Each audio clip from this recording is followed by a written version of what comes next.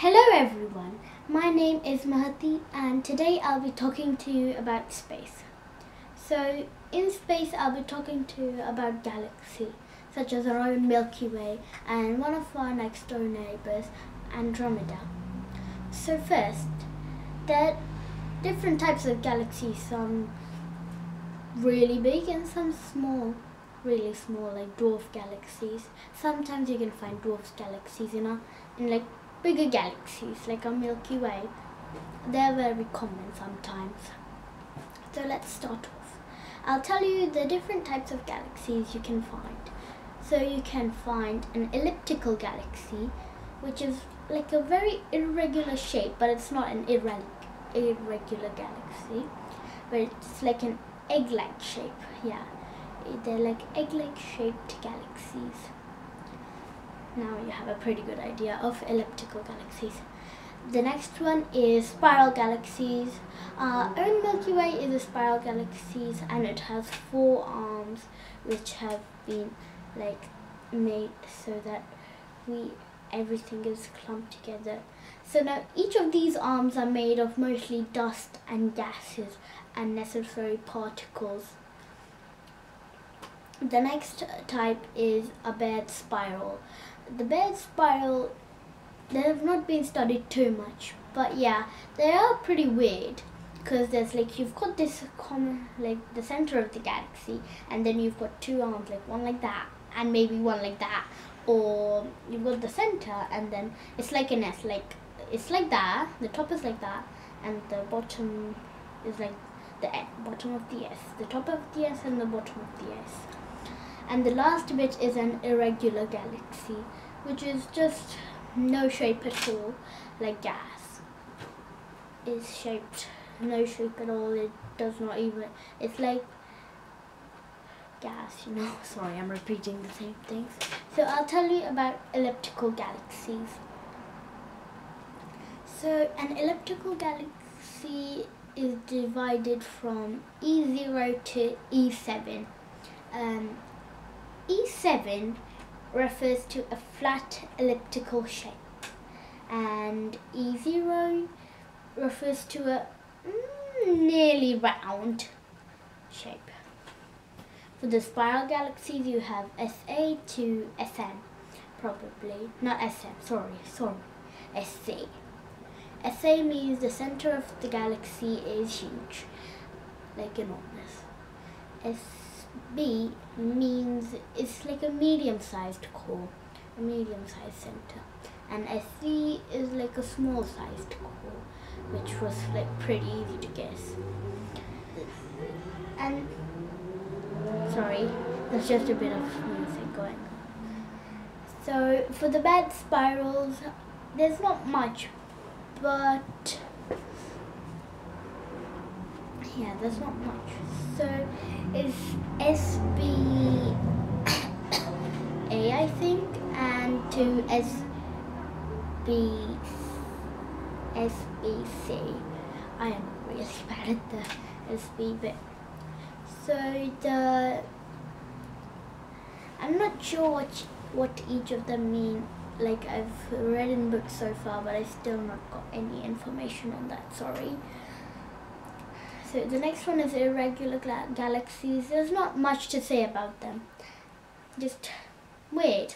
No shape at all. They might be like a huge puddle or like an enormous, what, a blob of stuff. Now I'll tell you the categories of the galaxies. It is it is one, two, five in Roman numerals written. So one refers to a ginormous galaxy, like a super giant galaxy. And size 5 refers to a dwarf galaxy, just as I was talking about. Now,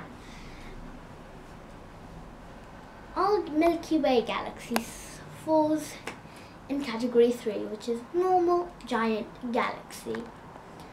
Probably our neighbor Andromeda might be falling into category 4, which is a mystery for me, but not a mystery for the scientists. Now, I just wanted to show you a few photos of different types of galaxies that I've just kept them in front of me. Um, it's just like a small book, okay? So don't worry too much, okay? So here you can see a giant elliptical galaxy which I know it, it looks a bit weird. It's glowing in daylight. So over here you can see a spiral galaxy. And now here's a spiral, another spiral galaxy with its two views. This is our own side view. It, I know it looks a bit cloudy, but the book is trying to imitate gas, mainly. And our top, top view. This is probably, I estimate, the Milky Way, because it looks like, means like it has four arms. Here's our bed spiral. And now over here it's a bit weird. Can you see this is what I'm talking about? You've got the center over here which keeps the arms fixed to it. And then you've got these two weird bars. Yeah? And then it says over here it's a spiral arm. So basically what this is is you've got the core and then what you've got is you've got two bars going up and one going down. And then one, like two bars, they've been curved slightly. So like from the bottom it looks like that and from the top it looks like that, like a rainbow.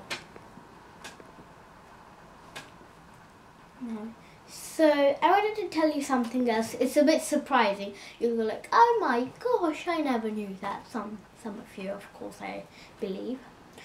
But each and every galaxy, but as far as we know, has a black hole in the middle. And black holes are generally the remains of dead stars who have the mass more than 30 times that of our sun. Now that means our sun is pretty small and the bigger bigger suns than our solar masses. So the black hole in the middle of our galaxy is like 13 suns put in a row together. That's how wide it is. Now imagine that. Like we're just tiny. Imagine how many Earths it would need, like lined up in a row, which is a bit of a mystery. But in the Andromeda, the things have gone like a bit more crazy. You need so many suns. It's it's so many suns I don't even remember. Jeez, it's uh, what a crazy number. It's like 1,000 suns lined up together in a row. Can you imagine like you'd be seeing over the horizon and all you can see is just light and like a huge ball of like, like a huge row of fireballs and there's nuclear nuclear reactions and nuclear fusion and all that stuff. Everything you can do, all that 1,000 suns. It's pretty amazing. And then like other galaxies as well. And if I tell you how many suns they would need, you'd be like, oh my gosh, we are smaller than heaven. Like smaller than we can probably imagine. Because like the galaxy is far away, like 49 million light years. 51 million light years. And the Chandra Observatory, like the satellite Chandra satellite has been studying all of these faraway galaxies and taking snapshots of them and then looking deep in the core, like deep in the center of the galaxy. And the Hubble Space Telescope, which is really good, is doing the same thing as well, twisting itself around, pointing itself in different directions, and then seeing different types of galaxies and sometimes it's a bit weird, but um, galaxies sometimes have like their black holes, but then the weird bit is they've got like a plasma just shooting out of them. Um, yeah, well, but that's not exactly what I'm trying to say. It is not a quasar because the quasars have blazars, not blazars, blazars, which are shooting out of them, and they travel so fast. They like they're at the speed of light, ninety nine point ninety nine percent of the speed of light, like going up in both directions. So, what is a quasar generally? A quasar is like a hyperactive galaxy, but the main questions that scientists have is how is the quasar kept active? Means like it's a hyperactive, which is a yeah not a problem, but how does it get all of the gas so it can keep itself running? That is still a mystery. But then the blazars, they're pretty bad. They're like plasma jets, like gamma rays, so far you can't even see where they're going. and then you've got this huge gas ring around the black hole. So it means like a quasar is just a more dangerous type of black hole generally. So that the black hole's got gotten too much gas and then it's become a quasar and shooting blazars in both directions like the gamma rays and different types of rays, gamma rays, x-rays, you know.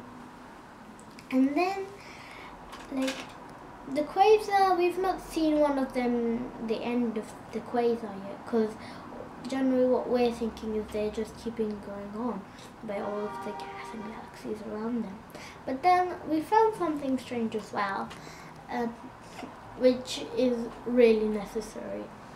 Uh, the gas around the quasar is generally the building blocks of solar masses, suns, in an easier way. So suns are formed, but then sometimes uh, they're sucked in, it, like, and mainly in the center of our galaxies, galaxy, sorry, when the scientists saw that there, instead of having like enormous stars around them, which is like impossible, the black hole will swallow them.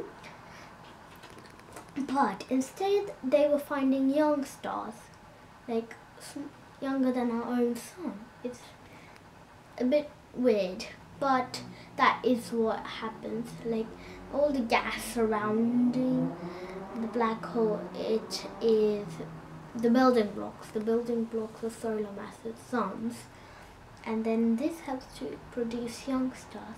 But they do get sucked in, some of them do at least, so some of the other lucky ones somehow they managed to get out of the gravitational pull of the black hole. But now you must be asking, how did the scientists find out about the black hole? I'll tell you something. So a scientist called Annette Kers was studying and trying to find if there's a black hole in the center of our galaxy. And there the two different teams also doing the same thing. And the both of the teams, like there was a European team and there was another team which I don't remember. They had nice advanced material but I guess she did not have any material, but what she had instead was photos. So there's a particular star everyone was following at the first. It was called SO1. It was going around in the center of gravity, our black hole. But then uh, the Annette Kers's attention was drawn by another star called SO2. And if you listen to this, you'll be pretty weirded. So the SO2, if this is the black hole, what it is being doing, it like if it starts off here, it's going so rapidly. Like whenever it reaches this point near the black hole, it's literally flung out and then back on its orbit. So like it goes like in an oval shape and when it goes to the nearer point of the black hole, it's gone so rapidly, it's flung away, literally. And eh, it's pretty hard to imagine, but it goes at speeds of 5,000 kilometers per second, which is a lot. And that's about 28% of the speed of light, which is still very much. we can't even reach that speed.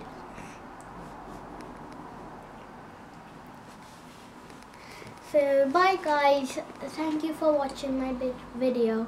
Bye.